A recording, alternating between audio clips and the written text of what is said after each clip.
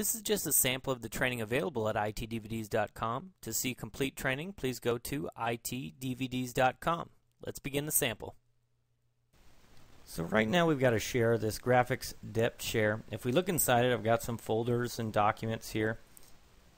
So we've been instructed that this special docs folder, we want to restrict it because right now, if we look at the permissions of our, our share here, if we go to sharing, advanced sharing permissions, we can see everyone can read and if we look at our NTFS permissions we can see the users have the ability to read and execute and read. So pretty much anybody that can log in and authenticate can read all the documents that are in this share but we need to lock down this special docs folder.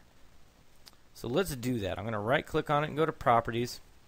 Let's go to security and we're going to change the NTFS permissions because remember when you're accessing it through the share you need both share permissions and NTFS permissions. So we're going to edit this. And first we actually need to go to advanced and disable inheritance because it's currently inheriting. And now let's go to edit. So I'm going to remove the users. So now just administrators, Steve Smith, uh, the system and creator owner have the ability to view and modify these files. So let's click OK.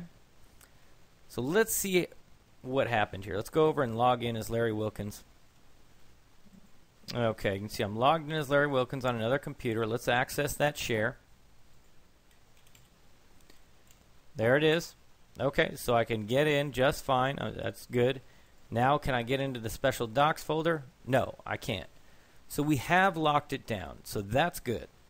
But you'll notice, even though I don't have permission to this special docs folder, I can still see that it's there and that might not be what we want. Uh, you know, if we know it's there, well, then you know, for a malicious user, we might try to get at it. But it would be nice if a person didn't have permissions to a folder or files, then they wouldn't be able to see them through the share path.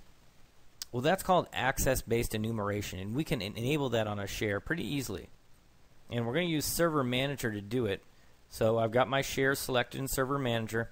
Let's right-click, go to Properties, go to Settings, and check the box for Enable Access Enumeration. We also have another option down here to encrypt data access. When enabled, remote file access of this share will be encrypted.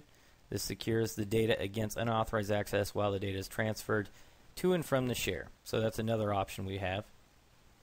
But for access-based enumeration, We've enabled it, now let's take a look at what it looks like. Okay, I'm on server 03. You can see I'm logged in as Larry Wilkins. So Larry Wilkins, we know doesn't have access to that folder. And now you'll notice, hey, it doesn't even show up.